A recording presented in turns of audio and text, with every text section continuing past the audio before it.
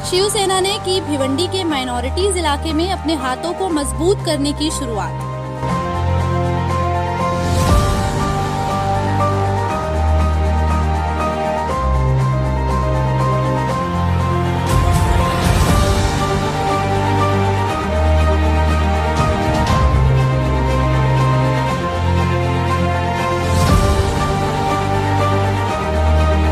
कल फ्राइडे के दिन वार्ड नंबर चार अंसार मोहल्ले में वार्ड अध्यक्ष सलीम अंसारी के ऑफ़िस की opening ex MLA Rupesh Mhatre के हाथों से की गई। इस समय तारिक काजी नईम अंसारी, मुन्ना भाई सहित भारी तादाद में शिव सैनिक मौजूद थे।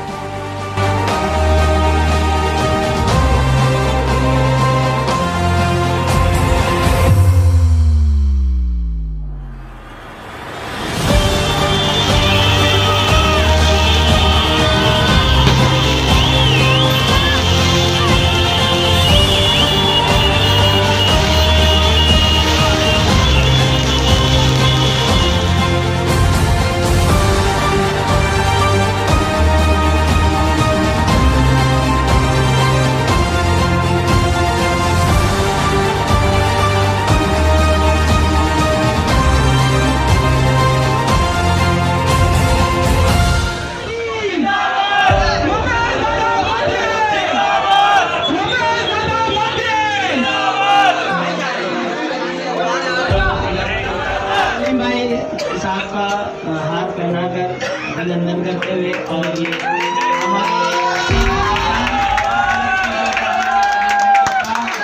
इसके लिए जोरदार तालियाँ।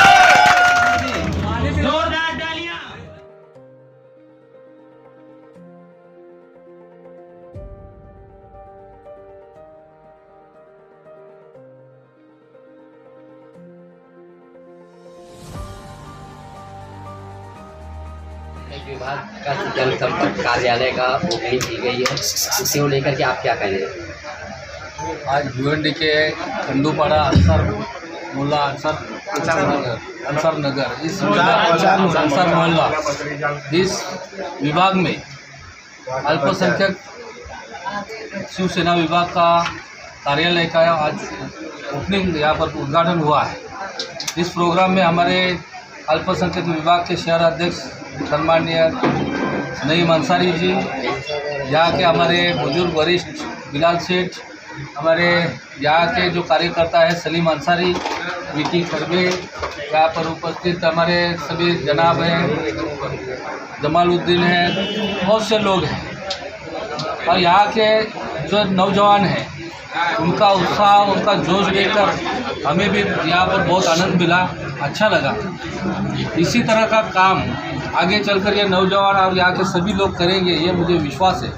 और कार्यालय में जो लोग आएँगे जिनकी समस्या रहेगी जिनको कुछ मदद चाहिए वो यह इस कार्यालय से करेंगे। और ये हमारे कार्यकर्ता जो है इस कार्यालय को अच्छा न्याय देने की कोशिश करेंगे ये मुझे पूरा विश्वास है। इससे पहले भी अल्पसंख्यक विभाग के सभी लोग हमारे हर चीज़ में, चाहे कोरोना कार्य का, कोरोना का काल था, उसके पहले भी बहुत से लोगों को, ज़रूरतमंद लोगों को मदद करने का काम हो, चाहे किसी को एंबुलेंस की ज़रूरत हो, चाहे किसी को खून की ज़रूरत हो, किसी को दवा की ज़रूरत हो, वो पूरा करने का काम हमारे शिवसेना के माध्यम से, हमारे अल्पसंख्यक विभाग के माध्यम से और सभी लोग, क्योंकि हमारे बाला साहब के वृद्ध वाक्य यही था कि अस्सी टक्का समाजकरण, बीस टक्का राजकारण। और यहाँ पर पूरी तरह से अस्सी टक्का नहीं तो सौ टक्का समाजकरण करने का काम हमारे सभी लोग करते हैं। इसीलिए आज भी लोगों का विश्वास शिवसेना के ऊपर बहुत ज़्यादा है। आप देख रहे हो कि जिस तरह से इन लोगों ने शिवसेना के ऊपर, मैंने जो दस साल में यहाँ पर काम किया, ये काम के ऊपर विश्वास रखकर ये सभी लोग हमसे जुड़े हैं।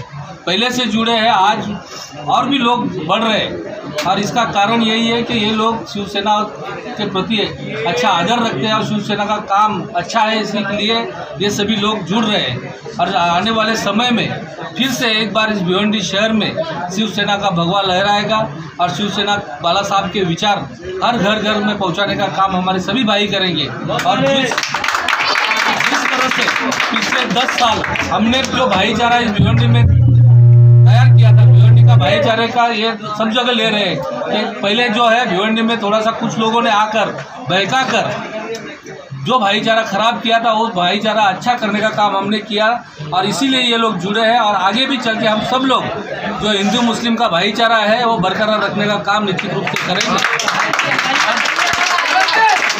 आज कुछ लोग आकर बहकाते हैं जाति धर्म के नाम पर कुछ दिन इनके लिए आए हैं। लेकिन आने वाले समय में इस शहर को मालूम है काम करने वाले लोग कौन है और कौन अच्छा काम कर सकता है उसके ऊपर विश्वास निश्चित रूप से पूरा शहर रखेगा। अच्छा अल्पसंख्यक विभाग के नईम अंसारी को वापस थाना लेवल से वापस भिवंडी अध्यक्ष बनाया गया। इसका क्या कारण? है थाना लेवल से नहीं है जो कि इससे पहले उप जिला प्रमुख के अल्पसंख्यक में थे लेकिन जो निर्णय लेना है जो अच्छा कार्य करते समय कार्यकर्ता को न्याय देना है, इसके लिए शहर अध्यक्ष का पद होना ज़रूरी था और भिवंडी का शहर अध्यक्ष बोलो, जिला अध्यक्ष के बराबर रहता है। और वो काम हमारे असलम साहब जो है इन्होंने विश्वास रखकर नईम अंसारी साहब को यहाँ पर शहर अध्यक्ष दिया है तो निश्चित रूप से आने वाले समय में इसका रिज़ल्ट भी आपको मिलेगा। सर एक मेरा एक सवाल और है कि ये अपना चौहान कॉलोनी में पंपिंग सेंटर को लेकर के लोग जनता विरोध कर रही है। तो आप क्या मानते हैं कि यहाँ पे पंपिंग सेंटर रहना चाहिए या नहीं?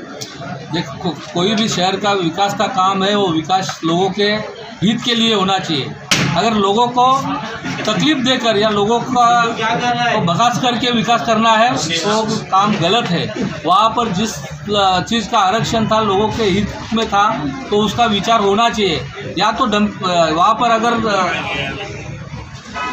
जो पंपिंग पंपिंग स्टेशन हो रहा है तो पंपिंग में एसटीपी प्लांट है।